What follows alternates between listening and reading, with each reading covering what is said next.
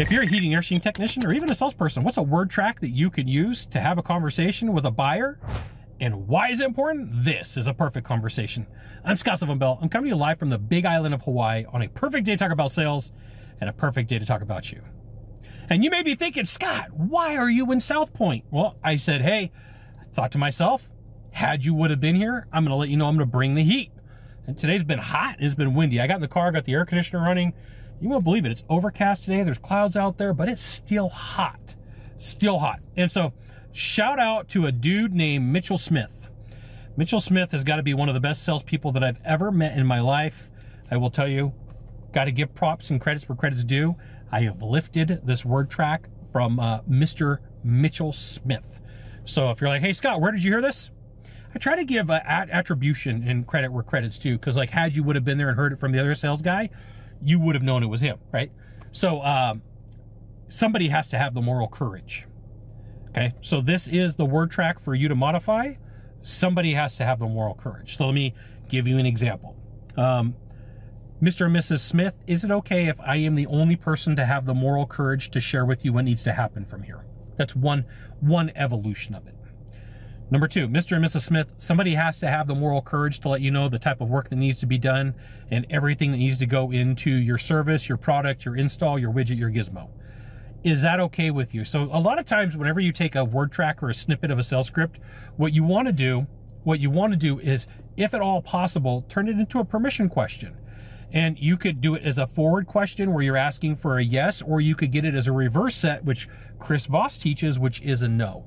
Would you be opposed for me to have a moral conversation, moral courage conversation with you? That would be how Chris Voss would would have that conversation. Would it be a ridiculous idea to have a, a conversation that takes moral courage? Okay.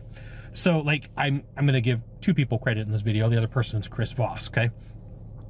So would you like me to have the moral courage? Is it important for me to have the moral courage? Or are you against having me having the moral courage to let you know what it's going to take to do this job right, to do this install right, to have this product, this service, this widget, this gizmo delivered, installed, whatever way you're going to do it, right? So you got to ask the question and turn it into the word track that's going to benefit you. And this is why you should join my email list. I'll give you the goods, not in the Facebook group, not the YouTube channel. It's like right here find that URL, type it into a browser, drop in your name and your best email address. I'll give you the goods.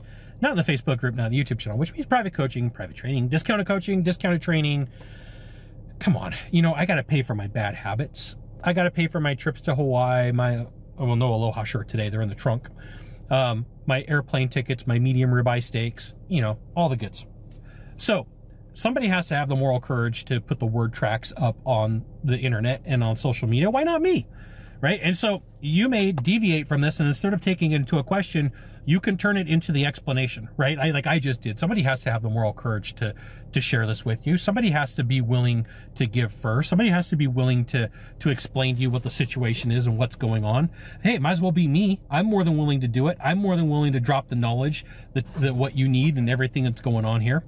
So somebody needs to have the moral courage. Your job today is to figure out how to have that conversation or ask that question in a way that gets you a yes or gets you a no and uh, put it into your sales presentation. Super importante that you do it right. Take some time, figure out where you're going to put it, and you will probably do very well.